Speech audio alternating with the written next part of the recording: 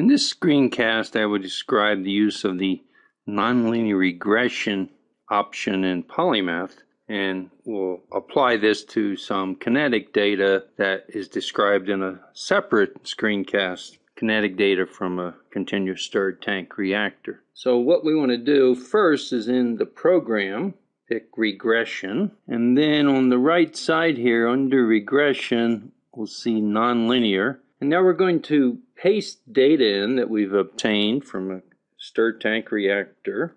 And what the data is, this first column is concentration, and the second column is rate. So this is the rate measured and determined in a continuous stirred tank reactor, where this is the outlet concentration in the first column, which of course is also the concentration in the reactor.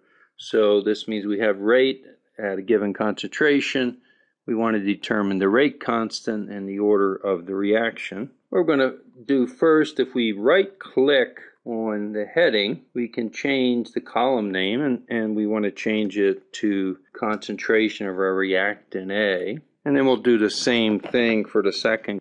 Our next step then is to put in the equation that we're trying to model. So our EXP is the experimental rate. It's going to be equal to a rate constant which we're trying to determine, times the concentration of A raised to some power n. So the value of n, the value of k are ones we want to determine. We're going to make some initial guesses, 0.02 for k, and we'll guess the order is first order. So the dependent variable is the rate, the independent variable is concentration, and the two parameters we want to determine are k and n.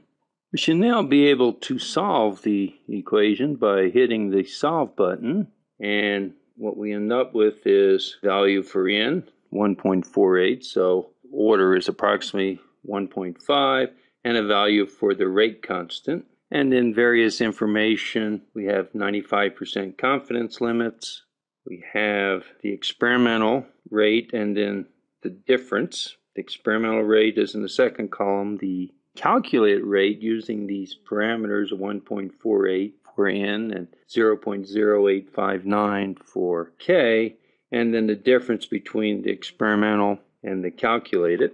Now we can get additional information also from Polymath. For example, we can go back and instead of getting a report, I'll check instead graph, and I'll uncheck report. I'll hit solve, and now we obtain a graph of rate versus concentration and the fit versus the experimental. So concentration, rate calculated, and rate measured, and compares how good the fit is. And so Polymath can do much more sophisticated equations, but this demonstrates the idea of calculating the parameters using nonlinear regression with Polymath.